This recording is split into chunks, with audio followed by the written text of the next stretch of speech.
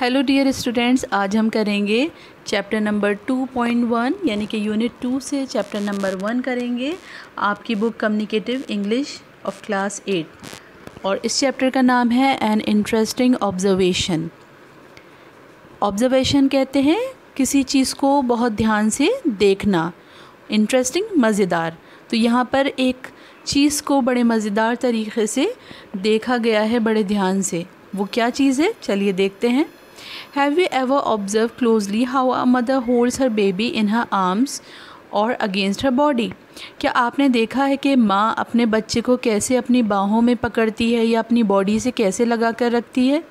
Which of her two arms does she usually use while cradling her baby to sleep या आपने देखा है कि किस तरह से वो अपने बच्चे को गोदी में झुलाकर सुलाती है?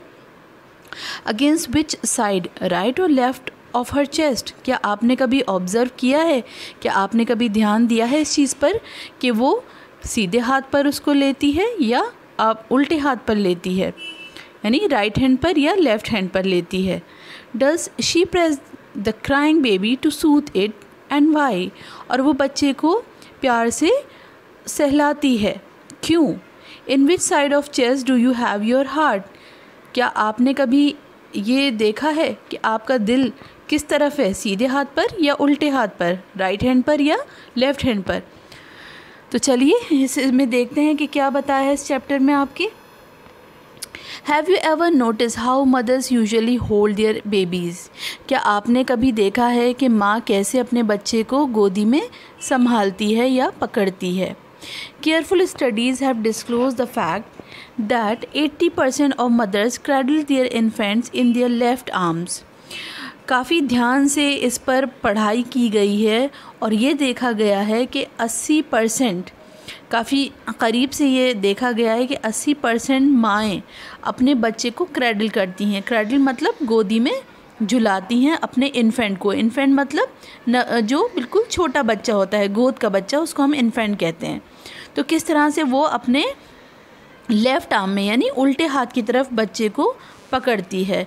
Holding them against the left side of their bodies और अपनी जो बॉडी होती है, उसके उल्टी तरफ़ उसको पकड़ के अपनी बॉडी पर लगा कर रखती है बच्चे को। जैसे कि आप पिक्चर में देख सकते हैं, यहाँ पे मदर ने उसको बच्चे को पकड़ा हुआ है। अपने देखिए लेफ़्ट हैंड साइड पर पकड़ा है बच्चे को। One could see that it is because most people are right handed शायद इसलिए कि लोग राइट हैंडेड होते हैं राइट हैंडेड कहते हैं, जो सीधे हाथ से ही सारे काम करते हैं, उनको हम राइट हैंडेड कहते हैं। By holding their babies in the left arm mothers keep their dominant arm free for their normal work तो आप ये कह सकते हैं कि भाई सीधे हाथ से ज़्यादा काम किया जा सकता है क्योंकि वो डोमिनेंट हैंड होता है। डोमिनेंट मतलब कि जिससे हम ज़्यादा काम कर सकते हैं। हमारा ख़ास हाथ होता है जो सीधा हाथ होता है। तो क्योंकि शायद राइट हैंड हमारा ख़ास होता है डोमिनेंट होता है इसलिए उसे फ्री रखने के लिए माँ जो है वो आ, उल्टे हाथ में बच्चे को पकड़ के रखती है जिससे कि वो सीधे हाथ से अपने कामों को कर सके। But a detail analysis shows that this is not the case लेकिन जब बहुत अच्छे से इस पर पढ़ाई की गई, काफ़ी गहराई से तो देखा गया कि ऐसी वजह नहीं है, ऐसा नहीं है। कैसा नहीं है? कि माँ को सीधे हाथ से काम करना होता है, इसलिए वो उल्टे हाथ से पकड़ती है तो ऐसा नहीं है। Studies have shown that 83 percent of right handed mothers hold the baby on the left side तो 83 परसेंट ये देखा गया है कि जो सीधे हाथ से काम करने वाली माएँ हैं, वो बच्चे को उल्टे हाथ की तरफ़ पकड़ती हैं। But then so do 78 percent of left handed mothers लेकिन जो 78 परसेंट मदर्स हैं, जो सेवन जो लेफ़्ट हैंडेड हैं लेफ़्ट हैंडेड यानी उल्टे हाथ से काम करने वाली मदर्स हैं, वो भी अपने बच्चे को उल्टे हाथ पर ही पकड़ती हैं। In other words only twenty two percent of the left handed mothers have their dominant hand that is the left hand free for normal work तो इसलिए ट्वेंटी टू परसेंट मदर ही ऐसी होती हैं जो लेफ़्ट हैंड से काम करने वाली होती हैं, लेकिन उनका लेफ़्ट हैंड फ्री नहीं हो पाता है बच्चे को पकड़ने की वजह से। Clearly there must be some other reason why mothers prefer to hold their babies on the left side तो यहाँ साफ़ ज़ाहिर है कि सिर्फ़ हाथ से काम करने की वजह से ही मदर बच्चे को उल्टे हाथ की तरफ़ नहीं पकड़ती है। कुछ और भी ख़ास वजह है इसके पीछे। The only clue comes from the fact that the heart is on the left side of the mother's body हमें जो क्लू मिलता है, जो इशारा मिलता है, वो ख़ास इशारा ये मिलता है कि मदर की जो बॉडी होती है उसके लेफ़्ट साइड में दिल होता है। Could it be that the sound of her heart beat is the vital factor vital कहते हैं ख़ास ज़रूरी इंपॉर्टेंट तो आ, हो सकता है कि माँ के दिल की धड़कन उल्टे हाथ पर सुनाई देती है क्योंकि उल्टे हाथ की तरफ़ लेफ़्ट हैंड साइड पर दिल होता है। शायद ये ख़ास वजह है। Its existence inside the body of the mother the growing embryo becomes fixated on the sound of the heart beat शायद जब बच्चा एग्जिस्टेंस एग्जिस्टेंस मतलब ज़िंदगी। जब बच्चा जी रहा होता है माँ के बॉडी के अंदर, माँ के जिस्म के अंदर जब बच्चा होता है the growing embryo becomes fixated embryo कहते हैं नवजात शिशु, जो नन्ना सा बच्चा होता है fixated on the sound of the heart beat तो फिक्सेटेड का मतलब है एक ख़ास लगाव। तो उस बच्चे को माँ के दिल की धड़कन से एक ख़ास लगाव हो जाता है, क्योंकि माँ के पेट में जब वो होता है तो उसे कुछ और सुनाई नहीं देता है, बस माँ के दिल की धड़कन सुनाई देती है। तो इस वजह से शायद उस, वो माँ की दिल की धड़कन से बहुत ज़्यादा जुड़ जाता है। इफ़ दिस इज़ सो अगर ऐसा है then the rediscovery of this family sound after birth might have a calming effect on the infant अगर ऐसा है तो इसके ऊपर जो इसके ऊपर काम किया गया और फिर से पढ़ाया, पढ़ा गया, इसके ऊपर देखा गया ख़ास तौर से कि कि क्या बच्चे के ऊपर माँ के दिल की धड़कन का एक कामिंग इफ़ेक्ट होता है? कामिंग यानी सुकून देने वाला इफ़ेक्ट होता है क्या?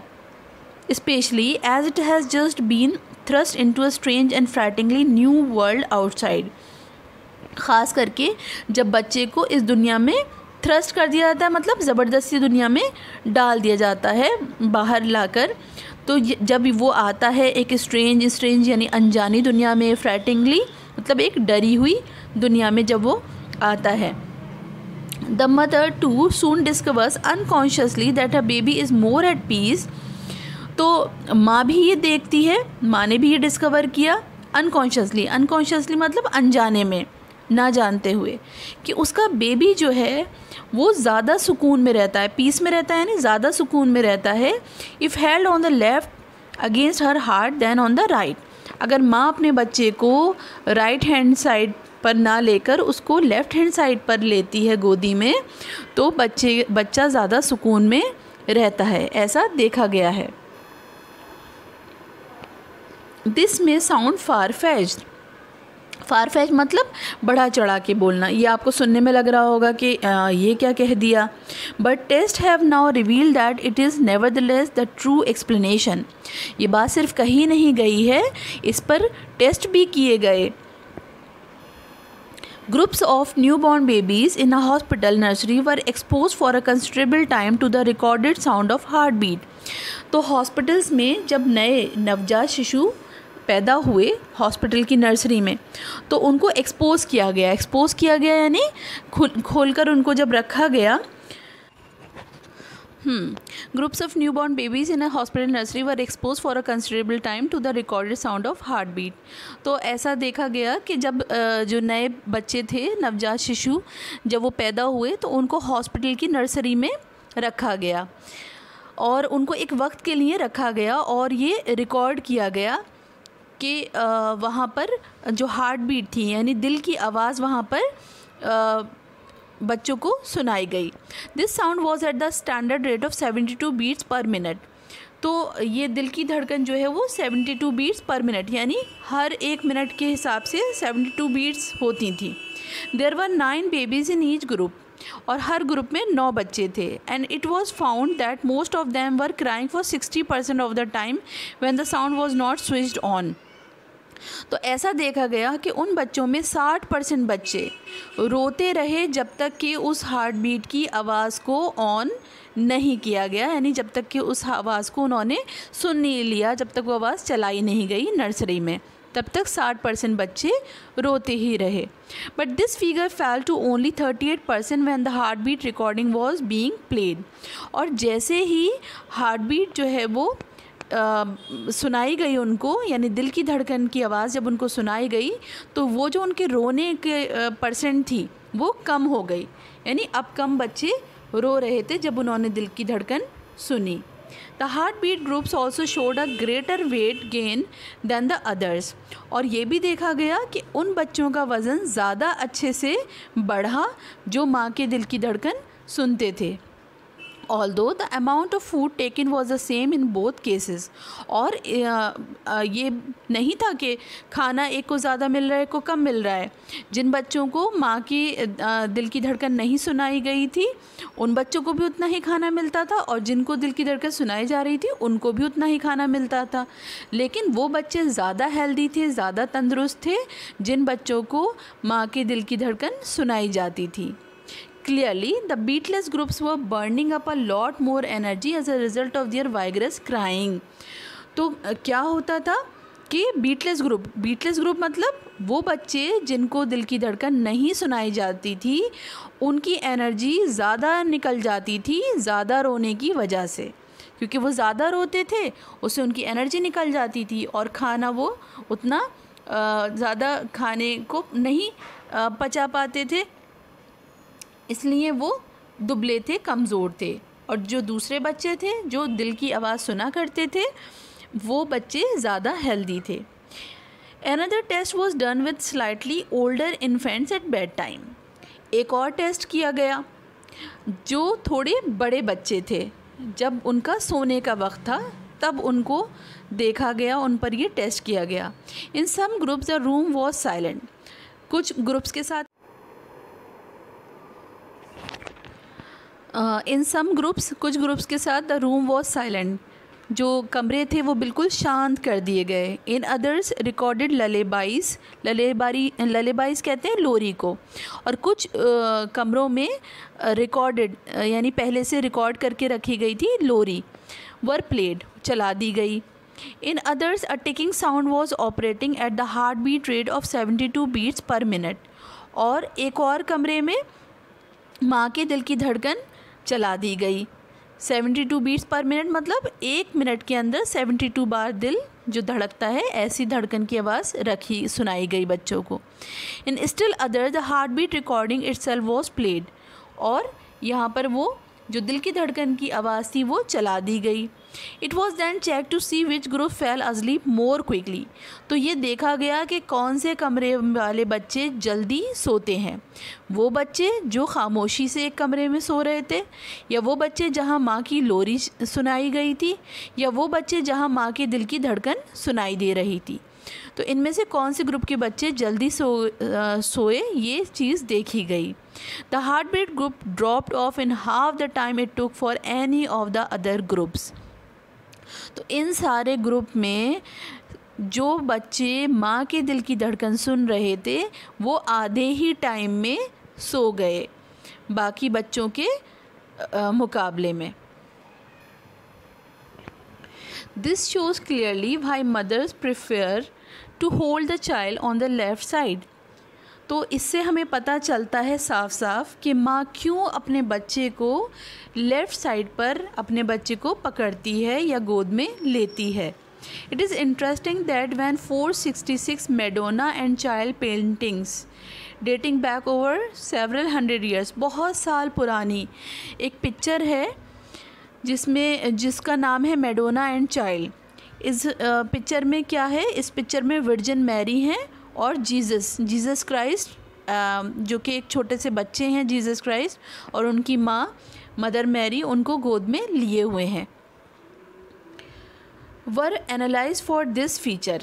तो उस पिक्चर के ऊपर ये देखा गया कि ऐसा क्यों है? 373 of them showed the baby on the left breast.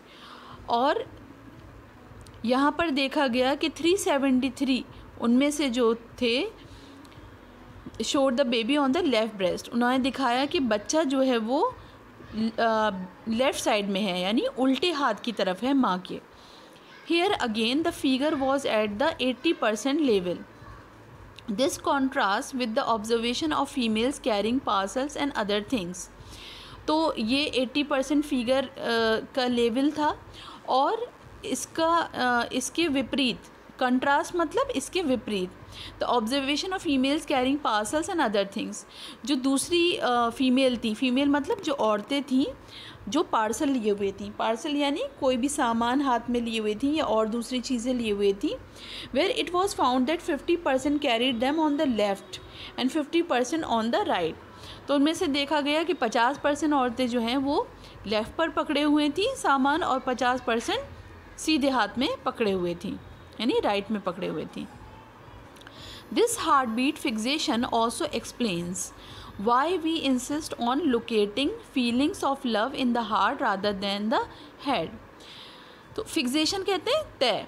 तो ये जो एक तय हार्ट बीट है, यानी जो तय दिल की धड़पन धड़कन है, ये हमें ये भी बताती है कि क्यों हम ढूंढते हैं। लोकेटिंग मतलब ढूंढना। ढूंढते हैं हम प्यार की भावनाओं को इमोशंस को फीलिंग्स को दिल में, ना कि हम सर में ढूंढते हैं। It also explains why mothers rock their babies to lull them to sleep और ये हमें ये भी बताता है कि क्यों एक माँ अपने बच्चे को सुलाती है और झूला झुलाकर वो सुलाती है लोरी सुनाकर। The rocking motion is carried on at about the same speed as the heart beat तो माँ जब बच्चे को झुलाकर झुलाकर यानी हिलाती है मदर तो हिलाकर, झुलाकर उसे सुलाती है। तो इसे कहते हैं रॉकिंग मोशन जो इधर से उधर हम हिलाते हैं चीज़ को, उसे रॉकिंग मोशन कहते हैं। Is carried on at about the same speed as the heart beat तो बिल्कुल उसी तरह माँ उस बच्चे को उतनी ही स्पीड से हिलाती है, जितनी स्पीड से दिल धड़कता है। And once again it probably remind the infants of the rhythmic sensation they had become so familiar with inside the womb तो बच्चे ने जो माँ के पेट में एहसास किए होते हैं जो हिलने डुलने के, जो दिल के धड़कन के तो बच्चे को वही एहसास उसे होता है जब वो माँ की गोद में हिलता डुलता है और माँ के दिल की धड़कन को सुनता है। As the great heart of the mother pumped and thumped above them जब माँ का दिल ऊपर उनके तेज़ तेज़ चलता है और धड़कता है तो बिल्कुल वैसा ही एहसास उनको जब होता है जब वो माँ की गोद में होते हैं और माँ उनको हिलाती डुलाती है और वो दिल की आवाज़ सुनते हैं। Nor does it stop there सिर्फ़ यही नहीं बात ख़त्म हो जाती है। दिस फेनोमेना फेनोमेना मतलब ख़ास अनुभव seems to stay with us right into our adult life और यहाँ बचपन में ही ये बात ख़त्म नहीं हो जाती। ये जो ख़ास अनुभव है, ये हमारे बड़े होने तक एडल्ट लाइफ यानी जब हम बड़े हो जाते हैं मैच्योर हो जाते हैं, तब तक हमारे साथ ये अनुभव रहता है। We rock with anguish anguish कहते हैं बहुत ज़्यादा गुस्सा आना। तो जब हमें बहुत गुस्सा आता है तो हम यहाँ से वहाँ एकदम टहलने लगते हैं घूमने लगते हैं। We rock back and forth on our feet when we are in a state of conflict या फिर जब हम कॉन्फ्लिक्ट यानी बहुत परेशान, जब हम बहुत परेशान होते हैं, तब भी हम यहाँ से वहाँ चलने लगते हैं। बैक एंड फोर्थ मतलब आगे पीछे चलना। The next time when you see a new teacher in your class तो अगली बार जब भी आप किसी नए टीचर को अपनी क्लास में देखें और अ स्पीकर या किसी स्पीकर को, यानी जो बोल रहा है, बोलने वाले को आप देखें स्वे। स्वे मतलब यहाँ से वहाँ चलना। Rhythmically from side to side जब आपको, उसको यहाँ से वहाँ, किसी भी टीचर को या स्पीकर को आप यहाँ से वहाँ चलते हुए देखें check is speed for heart beat time तब आप चेक करिए कि क्या वो आपकी दिल की धड़कन की तरह उतनी ही स्पीड से चल रहा है। His discomfort at having to face an unfriendly audience leads him to perform the most comforting movements his body can offer तो ये जो उसका मोमेंट होता है यहाँ से वहाँ चलने का उससे उसको कंफर्टिंग मूवमेंट होता है ये यानी कि उसको आराम मिलता है यहाँ से वहाँ चलने से। जब वो किसी अनजान लोगों में ऑडियंस यानी अनजान लोगों में व्यक्तियों के बीच में वो होता है जिनसे वो वाकिफ़ नहीं होता जिनसे वो आ, आ, अच्छे से जिन्हें नहीं जानता है तो उन लोगों के बीच में जब वो होता है तो वो अब जब यहाँ से वहाँ टहलता है या अपनी इधर से उधर हिलता है तो उसको थोड़ा आराम मिल जाता है। He switches over to the old family beat of the womb तो उस टाइम वो क्या कर रहा होता है? उस टाइम वो वही माँ, जैसे माँ के पेट में उसको जो धड़कन सुनाई दे रही होती है तो वैसे ही उसको हो जाता है और वही सुकून उसे मिल जाता है। Whenever you find insecurity तो जब भी आपको डर लगे यू आर लाइबल तो ये लाइबल है यानी ये ज़ाहिर है to find the comforting heart beat rhythm in one kind of disguise और एन अदर तो किसी ना किसी तरह आप इस तरह की जो दिल की धड़कन है उसको आप डिस्गाइज करेंगे यानी कि uh, अब किसी ना किसी तरह उसे आप छुपा लेंगे या एक तरह का उसको रूप दे देंगे। It is no accident that most folk music and dancing has a rhythm of the heart beat तो ये कोई अजूबे की बात नहीं है, कोई हैरानी की बात नहीं है कि जो फोक म्यूज़िक और डांसिंग होती है, उसमें एक रिदम होती है और वो बिल्कुल दिल के धड़कन जैसी रिदम होती है। Here again the sound and movement take the performance back to the safe world of the womb तो जो लोग नाचते गाते हैं तो वो भी बिल्कुल वैसा ही महसूस करते हैं जैसे अपने माँ के पेट में महसूस करते हैं, यानी उनको सुकून मिलता है, उनको अच्छा लगता है। और वो रिलैक्स फील करते हैं। तो ये चैप्टर यहाँ फिनिश हो गया है। इस चैप्टर के क्वेश्चंस के आंसर्स और जो एक्सरसाइजेज हैं उनके सॉल्यूशंस मैं आपको नेक्स्ट वीडियो में प्रोवाइड कर दूँगी। तो आप मेरे चैनल को सब्सक्राइब कर लें और इसी तरह से आ, आपको मैं और भी चैप्टर्स के एक्सप्लेनेशंस और सॉल्यूशंस लेकर आऊँगी। Good bye